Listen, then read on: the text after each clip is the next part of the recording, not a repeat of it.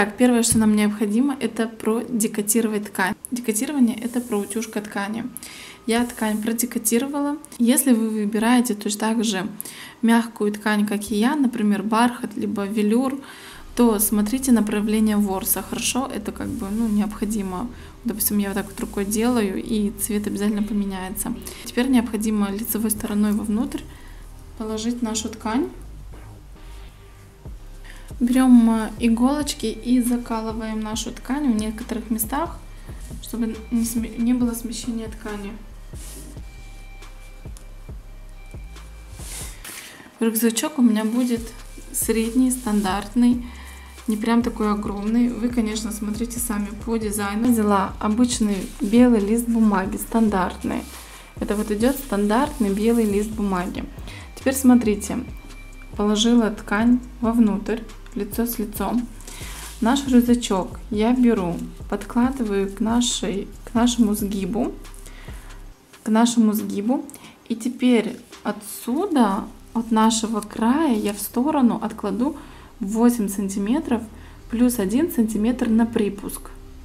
Получается, на основной ткани у меня всего лишь будет один шов со стороны спинки. Можно взять э, карандаш, либо вот такой фломастер для ткани и обрисовать наш, нашу бумагу.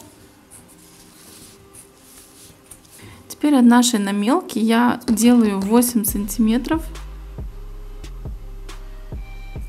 8 сантиметров и 1 сантиметр на шов. И провожу линию.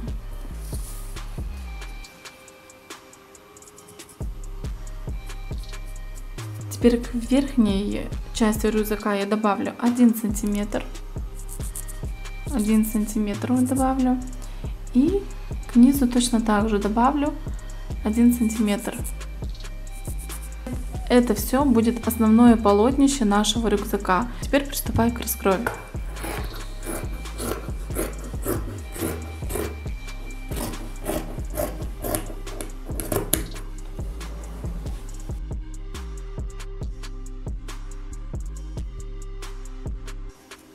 Вот этот шов мы стачаем, и это будет наша спинка. Лицо будет выглядеть у нас вот так вот. Это у нас будет лицо. Теперь нам необходимо выкроить вот такой вот клапан. Это вот клапан. Вот у меня идет размер. Здесь смотрите, 21 сантиметр у меня идет в ширину, в длину, в высоту 18 сантиметров. Если вы хотите делать клапан прямой, то эту линию просто выкраиваем прямой. Можно сделать с таким полукругом, как у меня. Все зависит от вашей фантазии, от, вашей, от вашего дизайна и модели. Теперь смотрите, если у вас рюкзак идет однотонный, то мы точно так же в сгиб накладываем нашу детальку, обводим и выкраиваем. У нас должно получиться два вот таких вот клапана. Получается раз клапан будет и два, два клапана. Но, но у меня идет вот такой вот красивый замок синим и красным цветом. И я решила, решила скомбинировать свой рюкзак. Будет, основная ткань клапана будет красная, а изнаночная ткань у меня будет синяя. Тем самым я сейчас в один слой выкрою свой клапан и потом второй раз.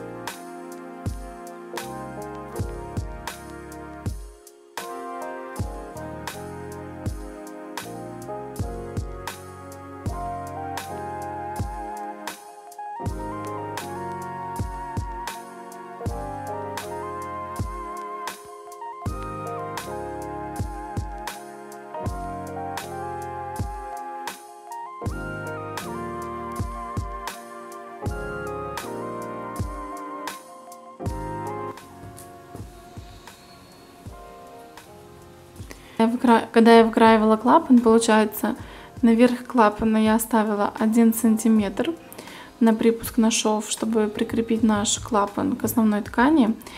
А сюда по краям я дала 5 миллиметров. Получается на обтачивание клапана друг с другом. Теперь посередине каждого клапана у меня есть надсечка снизу и сверху, как напачивать. Когда мы будем их обтачивать, э, я надсечки соединю друг с другом. В данный момент у нас есть передняя и задняя часть рюкзака. У нас есть э, клапан и подклапан. Теперь мне необходимо вырезать дно.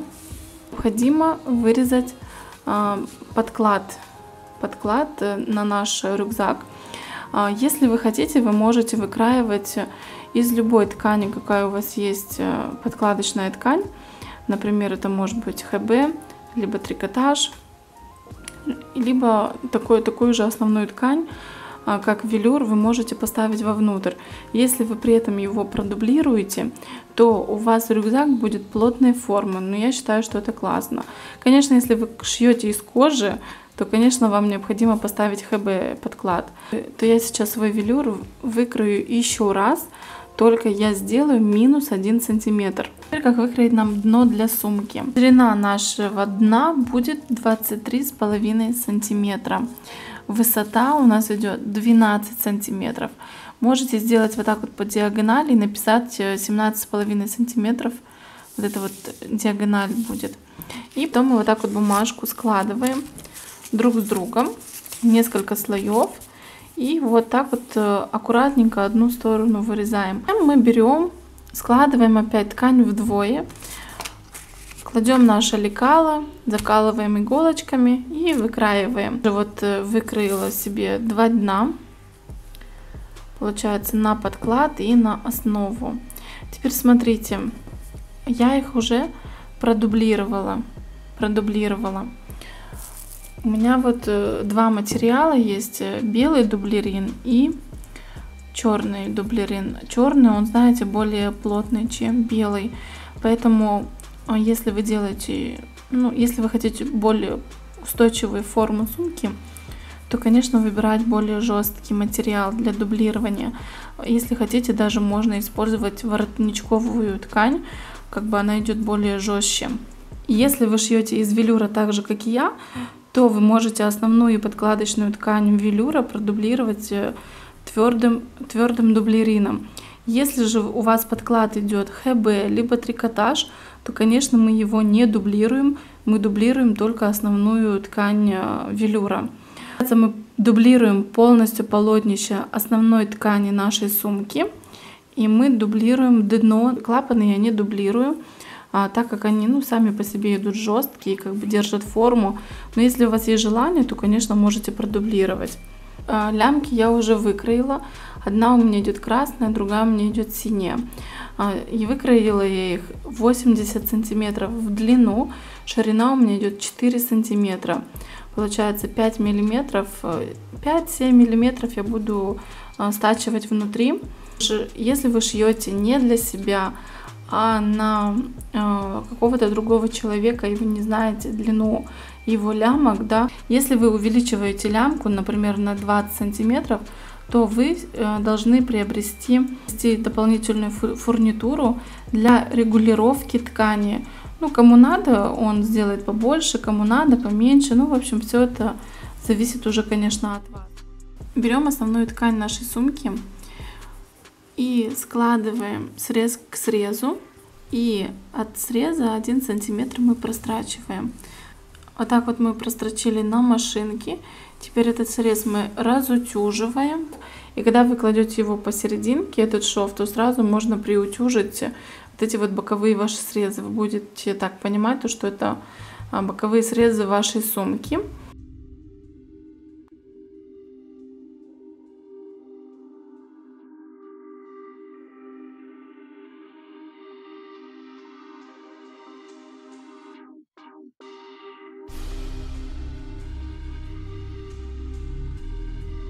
Кололи наши иголки по четырем сторонам. Теперь берем и от нашего вот этого среднего шва на спинке, от него начинаем вот так вот, вот сметывать. Сметываем, здесь вот идет легкая посадка, мы это все припосаживаем. Сейчас расскажу немножко о том, что я уже сделала. А, первое, что я сделала, это я уже стачала свой подклад с дном. Это у меня уже прострочено и готово, осталось только проутюжить. Это идет основная часть моего рюкзака. Я приметала дно. Здесь вот у меня идет приметочная строчка. Для чего я сделала, почему я еще не стачала? потому что мне заранее сюда необходимо ставить, ставить вот эти вот концы, концы лямки вот сюда вот в рюкзак, где я буду пристрачивать. И потом уже вместе с дном надо дать одну строчку. Я уже подготовила свой клапан, обточала. Сейчас я это все выверну, проутюжу. Здесь на клапане я сделала маленькие надрезы, а, не доходя до строчки. Это делается для того, чтобы было красивое скругление этой линии. Ну и получается, сейчас я вам покажу свою лямку. Вот так вот э, будет выглядеть моя лямка. Вообще лямка будет в готовом виде э, вот так вот выглядеть. Получается, я здесь все приметала между замком. Конечно, вы можете так не делать, э, если у вас нет такого замка. Вы просто дадите здесь строчку и здесь дадите отделочную строчку. Если у вас нету замка и вы делаете просто лямкику, то когда вы стачиваете, вы подогните этот край с этой стороны и этот. Получается два шва вот так вот вместе делаете. Сюда вот так, сюда вот так вот вовнутрь загибаете. Здесь э, стачивание идет у вас здесь отделочная строчка. Когда вы эту строчку сейчас доделаете, дошьете, а перед этим я вам советую, конечно, сметать, как я это сделала вручную. Если вы сразу сядете и будете, ну, вот так вот подгибать э, и шить лямку, да, свою, а, то, то ткань у вас немножко начнет э, скручивать, тем самым, ну, будет некрасивая линия лямки. Поэтому я вам советую вручную сметать, потратить 5 минут на это. И вот так вот мы сметываем, делаем настрачивание. Получается у нас здесь будет две отделочные строчки. А, так как у меня идет замок сейчас, можно было бы, конечно, знаете, приутюжить вот, это, вот эти вот швы и пришить одну линию к замку, потом вторую линию. Но я решила как бы делать все это вместе.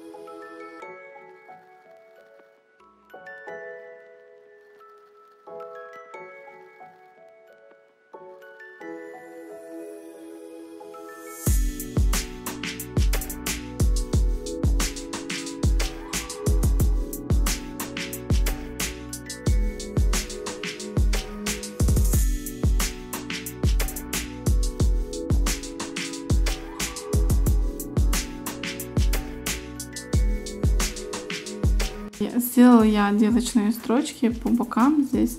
Просто берете сверху и настрачиваете. И здесь я уже, получается, закрепила свой замок.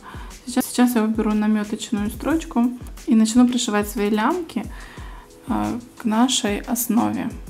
Берем основу нашего рюкзака, где у нас идет средний шов. К нему мы накладываем нашу лямочку. Смотрим, чтобы ну, замок шел прям посерединке. Получается лицевая сторона, вот как она у нас выглядит, э, накладываем мы на нее сверху. Потом наш клапан, это у нас красная сторона идет лицо. Мы, получается, кладем его, лицо кладем вовнутрь. Это у нас идет э, под клапан. И получается надсечку соединяем с центром. И вот здесь мы сейчас э, прометаем ну и затем мы, конечно, стачаем здесь 1 сантиметр.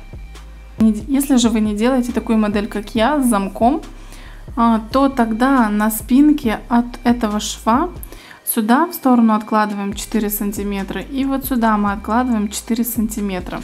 И подкладываем нашу лямочку. Точно так же клапом мы обворачиваем делаем строчку.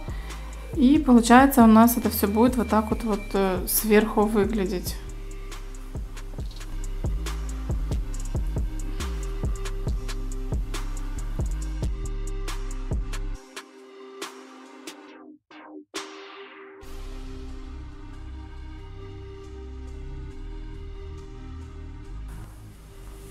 Получается, вот так вот оно все выглядит. Здесь я сделала строчку. Я проложу эту строчку здесь на машинке.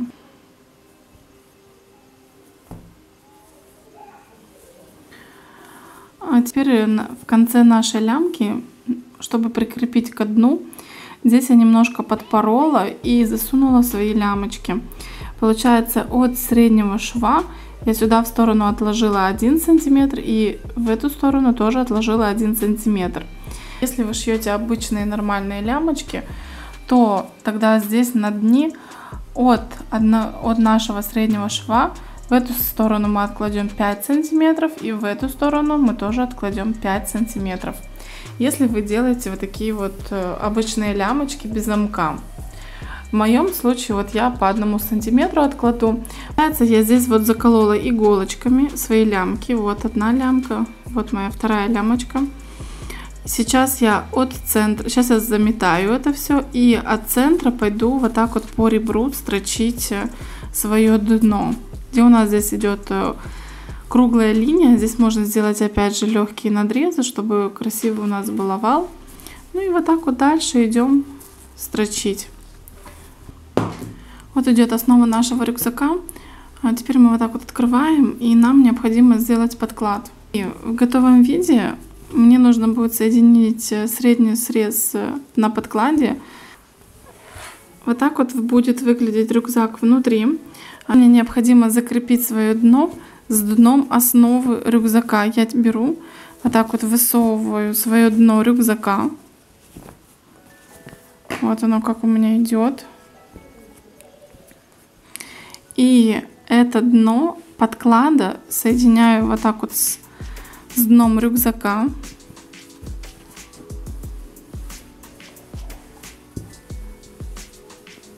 средний шов я закрепляю со средним швом.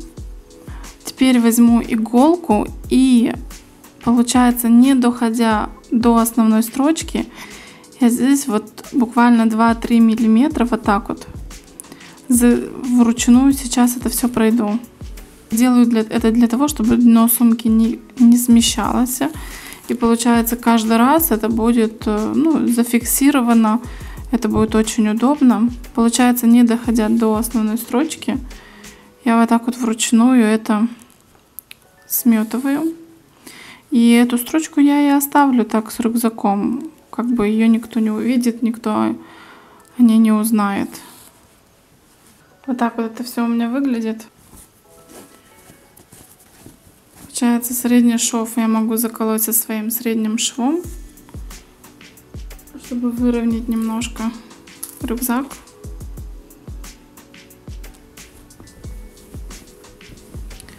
Вот так вот выглядит дно сумки. Получается все здесь у меня немножко уплотнено. Вот так вот выглядит мой рюкзак. Теперь мне осталось вот э, поправить здесь подклад и сделать одну строчку и рюкзак наш готов.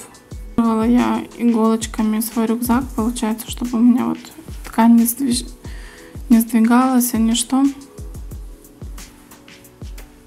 Теперь берем наш центр, это наш клапан, здесь у нас внутри, вытягиваем его. Берем нашу серединку подклада, вот так вот подворачиваем и накладываем наверх. И вот так вот в чистую мы сейчас закроем наш край. Прям иголочку. Зафиксируем сейчас это.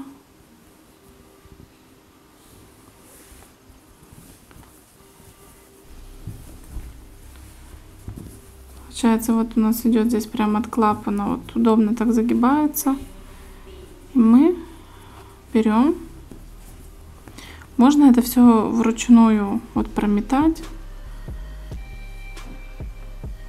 Можно вот так вот иголочками зафиксировать для удобства. Потом их, конечно, убрать. Вот. И получается, вот так вот делаем по кругу нашей сумки. Так вот идем. Делаем отделочную строчку. Идем, идем, идем. Так вот получается я прострочила Все вышло просто классно. Мне очень нравится. Так вот это выглядит у меня все внутри. Получается, когда вы сделаете вот здесь шов, э, э, наш рюкзак готов. Теперь смотрите, если вам нравится ваш рюкзак в таком виде, то я предлагаю вам здесь сделать какую-то клепочку, чтобы вот так вот закрывалось. В моем же случае э, я хочу сделать здесь фестоны. И здесь у меня будет протягиваться шнурок. И здесь сделаю в качестве декора какую-нибудь декоративную штучку. В общем, мой рюкзак готов, я очень им довольна, я очень, очень рада своей обновке. Мне очень нравится здесь вот, э, как у меня идет э, мой э, замок, то, что я могу использовать его как одну лямку, могу вот так вот, вот расстегивать, и будет две лямочки, как бы мне эта идея очень нравится, классно. После всемирного карантина я все-таки планирую съездить на базар, и вот мне необходимо, получается, а, на двух рюкзаках э, сделать вот такие вот э, фестоны. А, на такие вот рюкзачки у меня ушло всего лишь 3 часа пошива. Поэтому предлагаю вам потратить всего лишь 3 часа вашего дня и вот получить вот такую вот классную обновку. Надеюсь, то, что мой мастер-класс был вам полезен, что он вам понравился. Если это так, то поддержите меня лайком, пишите мне ваши комментарии, ваши отзывы, мне будет очень приятно почитать. Всем вам хорошего дня, всем вам хорошего настроения и всем пока-пока.